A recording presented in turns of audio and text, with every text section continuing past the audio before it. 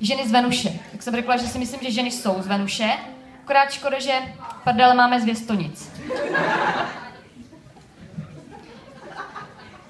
Jestli platí, že muži jsou z Marsu a ženy z Venuše, tak vztah mezi mužem a ženou je taková vesmírná odisea. Dlouhá a úmorná cesta prostorem bez přitažlivosti, vstříc hvězdě smrti.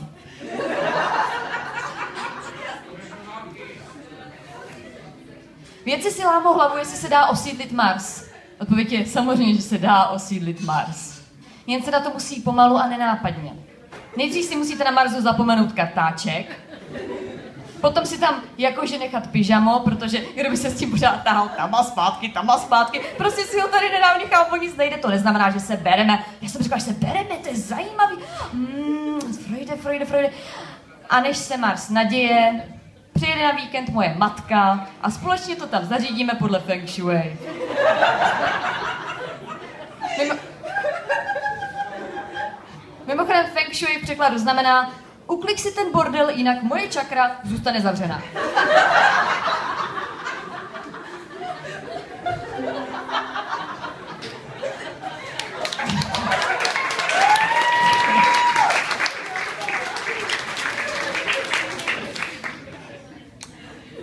Mimochodem, zdravím svou maminku v publiku. Máma je na mě hrozně pyšná. Možná jste to pochopili, já nejsem úplně nejvíc romantická holka na světě. Moje představa romantické večeře je ta, při které muž za sebe zaplatí. Ale dřív to tak nebylo, já jsem třeba dřív byla o hodně romantičtější. Teďka si, když jsem byla mladší.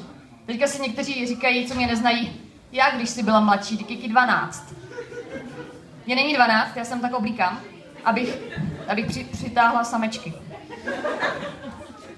Nicméně dřív jsem byla opravdu mnohem romantičnější. Třeba můj první kluk, a tohle je absolutně pravda, psal básně. Elfsky. Prostě i muži potřebují nějaký zbraně, když vypadají jako skřeti.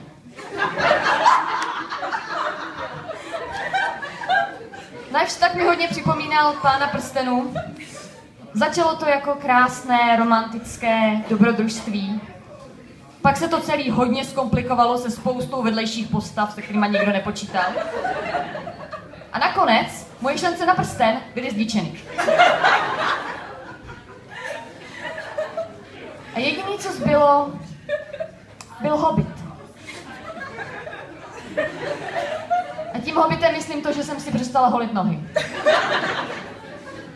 Jenom asi na tři měsíce pak jsem zase musela začít, protože jsem nechtěla, aby můj život připomínal další filmy Petra Jacksona.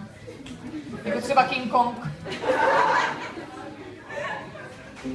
Každopádně po tady tohle je můj smysl pro romantiku na levelu živý mrtvý. Já už prostě nečekám na prince na bílém koni, já čekám na blanické rytíře. Je jenom jedna věc, ve které jsem pořád hrozně a moc romantická. A to jsou kitky. Já mám hrozně ráda kitky, fakt.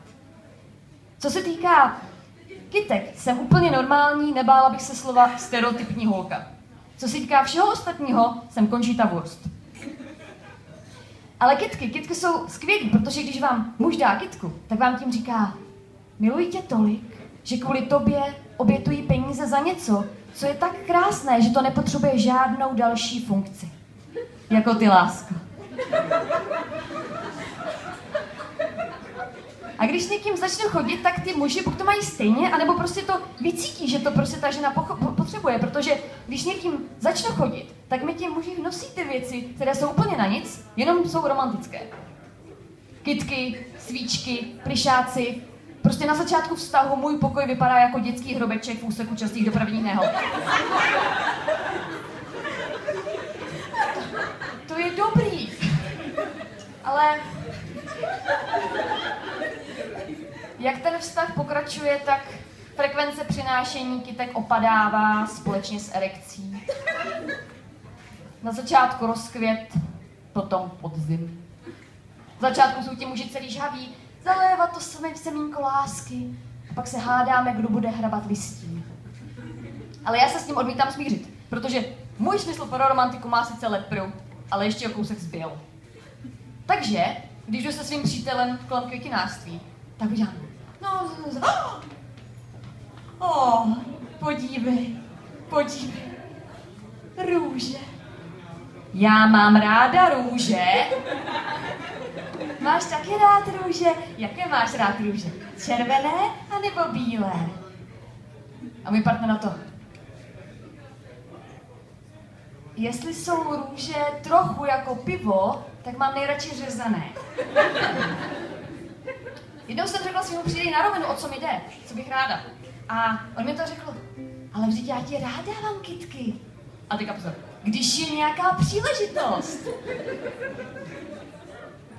Na jakou příležitost čekáš, kámo? Na pohřeb?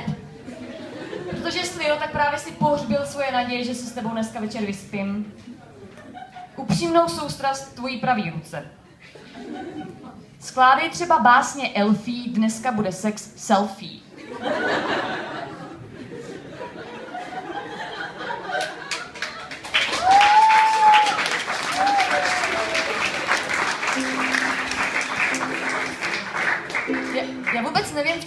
Takový problém prostě tu kitku koupit. Prostě kit, kitky jsou relativně levný.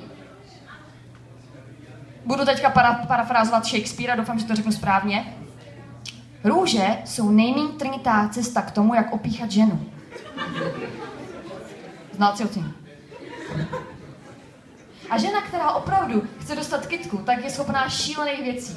Chytat ji na svatbě, chytat ji na pohřbu, Což je velmi podobné, protože v obou případech ji berete od někoho, kdo bude při sex už jen ležet.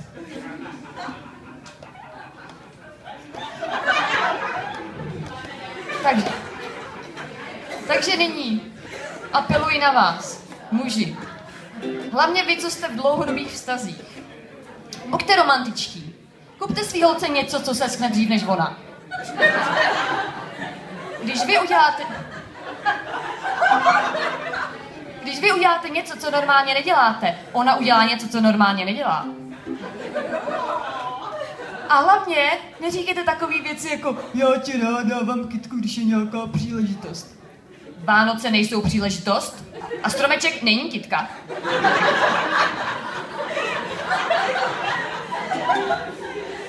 A pokud opravdu, opravdu nechcete dávat nikomu žádný kitky, a prostě chcete mít pohodový vztah a nic neřešit, pak vám radím, kupte trávu.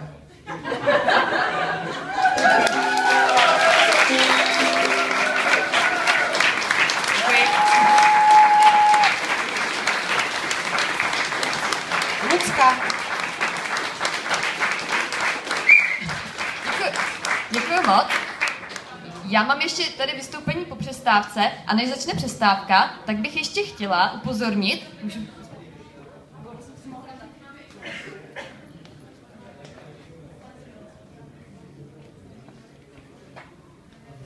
Tady na tu robokovou kostku, což je mimochodem moje kabelka.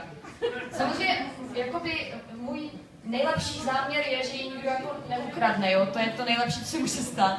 A ale protože ve se na pohodně mluvím jako o těch vztazích a tak, tak uh, jsem se rozhodla, že, a protože když třeba mám někde nějaké vystoupení a potom jsem na baru, tak za mnou občas přijdou nějací muži a snaží se mě jako zbalit.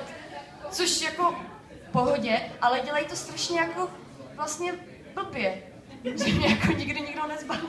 Ale uh, tak jsem napsala přesně pro tuto příležitost osm skvělých, originálních, výborných balících hlášek, který muži můžou použít na ženu. Opravdu jsou, jsou, jsou, jsou jenom mé a originální, takže jsem je napsala tady do této Rubikovy kostky. Takže když je tam uvidíte, tak můžete, můžete si nějakou vytáhnout, přečíst a potom třeba uplatnit. A když se vám bude líbit, tak eh, tam můžete třeba hodit nějakou minci, anebo po mně můžete pojmenovat porozené dítě. Jenom z těchto, z těchto, z těchto věcí. Třeba takový, takový teaser. Já tady požádám Janka, aby vytáhl jeden, jeden nějaký volný papír, jako budeme doufat, že je to zrovna něco dobrýho. Nejsou všichni úplně dobrý.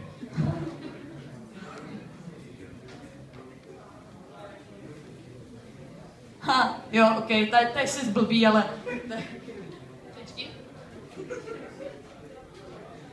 Nejsi námožnice.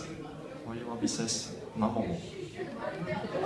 Když si námořnice hodila by se na volu. To není úplně dobrá věc, ale, ale každopádně nechám ji tam a můžete si, můžete si vzít papírek a třeba se tím pobavit o přestávce. Děkuji.